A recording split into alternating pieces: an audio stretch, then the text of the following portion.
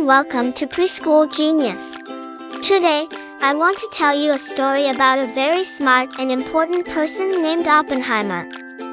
He was like a real-life superhero because he was a scientist, and he did some amazing things. Julius Robert Oppenheimer was a very smart and curious person who loved learning about the world. He was born a long time ago, in 1904. He went to school and studied lots of interesting things, like math and science. He wanted to know how things worked and why they were the way they were. Then, something big happened. During World War II, there was a very dangerous war going on. Some bad people wanted to use a special and powerful bomb called an atomic bomb to hurt others. But Oppenheimer, along with other smart scientists, had a different idea. They decided to build their own atomic bomb to try and stop the bad people. It was a tough decision, but they believed it could help end the war sooner and save many lives. They worked really hard on this big project.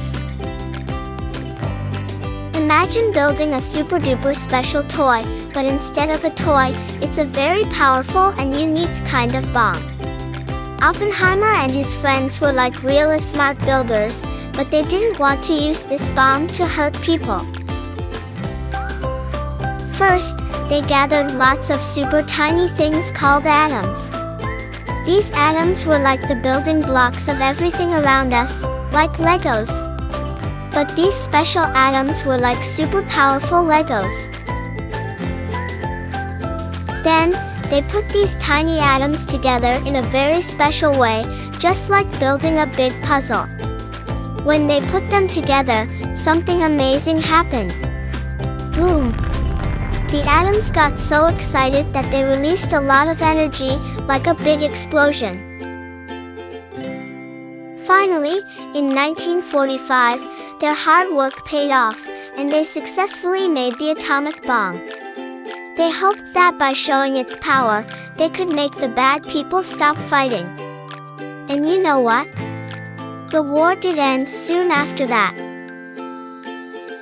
Oppenheimer was proud of what he and his team accomplished, but he also felt sad because he knew that such powerful weapons could be very dangerous and hurt a lot of people.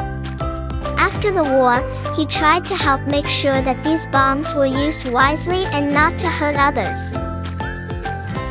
Instead, he focused on working on peaceful projects and sharing his knowledge with others.